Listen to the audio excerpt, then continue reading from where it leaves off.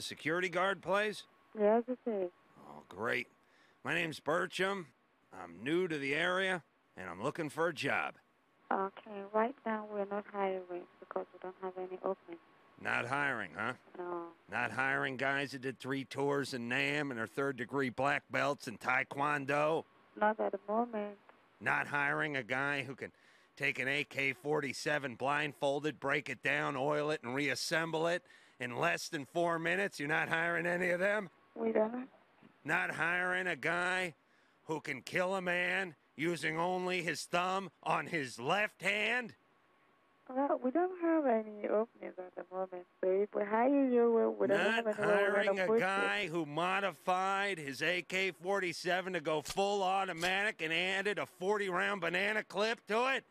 You're not hiring that guy?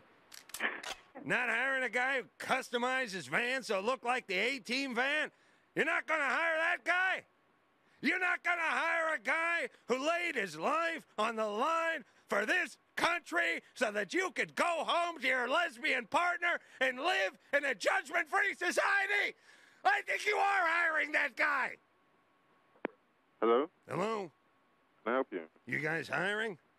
No, we're not. You're not, huh? No. You're not hiring a guy who was a master in the Shotokan discipline of the martial arts and who trained Green Berets for four years on the Mekong Delta before he began his street year tour? Um, You're not hiring a guy who can slide in like a viper and take his prey out with piano wire and never be to, sir, detected? but we haven't got any vacancies. No vacancies, huh? Indeed. Who is this, Mr. Belvedere? Mr. Who? I ran into your kind when I was in Nam, a squad leader with your accent. Never did get along with the man. Ended up killing him in a bar fight. But that's beside the point. Damn right it's besides the point. You guys need qualified personnel. Yes or no? I believe you're speaking to one, sir. You got a bunch of guys who couldn't pass the GED. Their cholesterol level's 370. Excuse me, sir. 370. Who, who are you exactly? I'm Birchum, Vietnam vet and American. Right. I come in there with my own uniform and I play by my own rules.